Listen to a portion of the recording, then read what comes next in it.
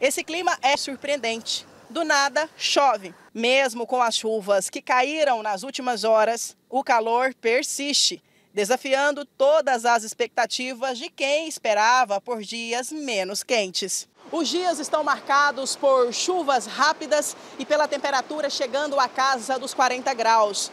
Segundo o CIMEGO, o Centro de Meteorologia e Hidrologia de Goiás, esse calorão que nem chuva resolve acontece devido a um bloqueio atmosférico que impede a chegada de frentes frias e umidade.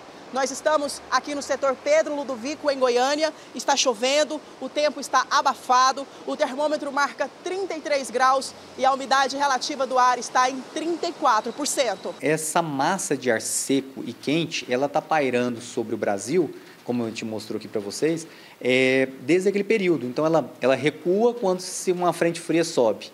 Então, ela dá uma recuada, ela vai mais a norte do país. É, a frente fria ficou fraca ou ela já perdeu a intensidade, ah, o calor volta tomando conta novamente do Brasil. Quem precisa pegar ônibus para trabalhar sofre, ora com chuva e o tempo todo com calor. É um sofrimento, né? Que fica quente dentro dos ônibus, né? O guarda observa tudo, vestido com um uniforme quente neste terminal de ônibus abafado. Dona Josefa teve sorte. Ela embarcou em um ônibus vazio são três por dia para levar e buscar o filho na escola. Quente, né? Muito quente.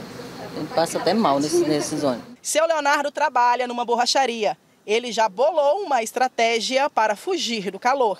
Nós saímos aqui para fora para dar uma aliviada, né? Esse tempo abafado é chamado de efeito sauna. O que acontece com essa chuva e as pessoas depois reclamam, né? Ah, parece que piorou.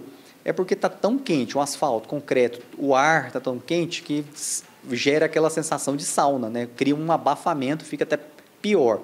Mas é necessário sim que essa chuva chegue, apesar de nesse período ainda pouca, mas para quê? Para ir quebrando a, essa massa de ar quente e seco aqui no Brasil, né, que boa parte do Brasil está sofrendo com ela, para que a gente possa ir, ir consolidando a chuva aos poucos.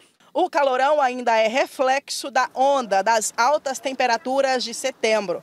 Para aqueles que vão trabalhar ou curtir o feriadão, a previsão é de chuva, com muito calor.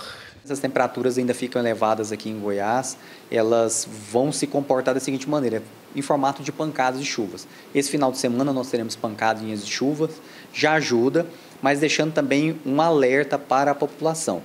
Ficar em atenção porque essas chuvas que vem nesse, é, diante de um calor que está fazendo, então esse choque de duas massas, uma fria e outra quente, gera tempestade. Temperatura alta e umidade, risco para tempestade.